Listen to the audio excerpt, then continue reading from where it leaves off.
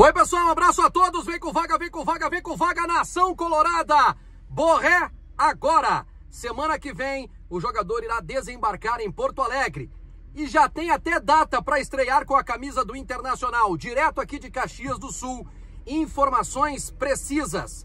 Quanto o Inter vai aproximadamente pagar? Data de chegada. Já tem? Tudo, tudo, tudo sobre a liberação antecipada por parte do Werder Bremen de Rafael Santos Borré, agora neste vídeo que tem informação ou informações exclusivas, sempre para Marquespan. Para nós, o pão é sagrado.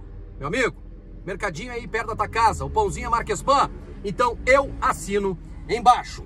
Bom, Werder Bremen tinha jogo neste sábado pelo campeonato alemão. Ficou de fora, Borré ficou de fora, e aí veio a entrevista, a justificativa por parte do senhor Clemens Fritz, dizendo e admitindo que há uma negociação em andamento e que, por isso, eles entenderam que era melhor deixar Borré de fora. Imediatamente, aqui em Caxias do Sul, eu e o repórter Simon Bianchini, de Gaúcha ZH, GZH, começamos a fazer a, as apurações, tá? O que que eu descobri?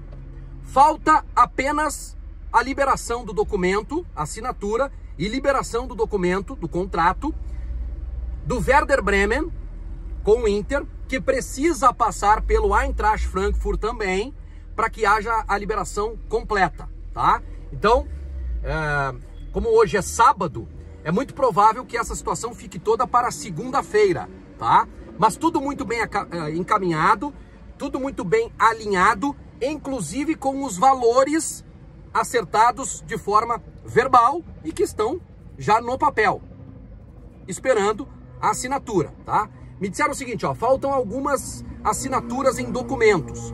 Foi isso. Muito provavelmente, ali, em uma cláusula, está o valor que o jogador e o seu empresário irão abrir mão de uma dívida existente atualmente e o valor que o Internacional vai pagar ao Werder Bremen. E essa é uma informação extremamente preciosa. Preciosa. Inicialmente, o Werder pediu ao Internacional, informação que eu descobri hoje, 1 milhão e 500 mil euros. O Inter não cogitou essa possibilidade. E aí veio baixando o valor, tá? Com a pressão feita pelo jogador. O Inter vai pagar, está tentando baixar ainda, tá? Mas é o que, é o que no máximo, o Internacional vai pagar 200 mil euros.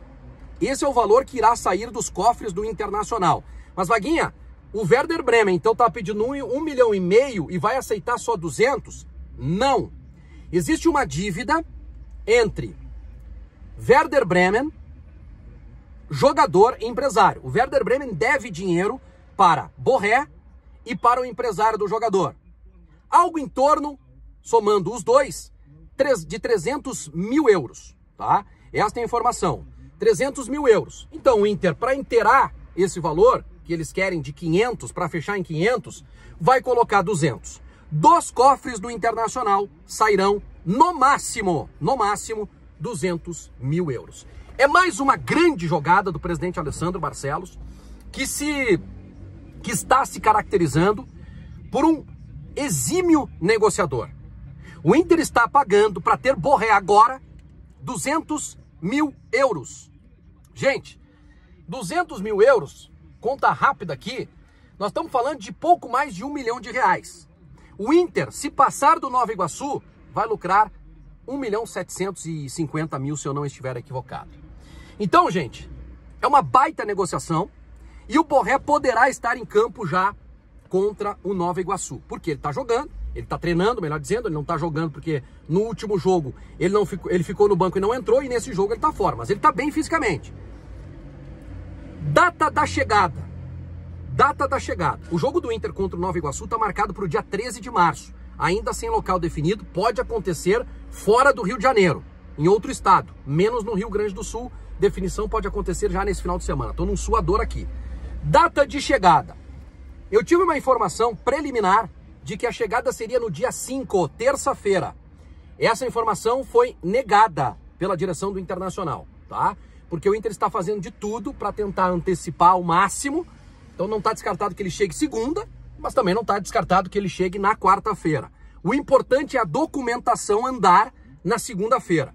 Andando a documentação, andando a documentação com a assinatura do Verda, que é o que deve acontecer, a assinatura do Eintracht Frankfurt, o jogador pega a asa dura, o avião, e vem reforçar o Internacional agora em março.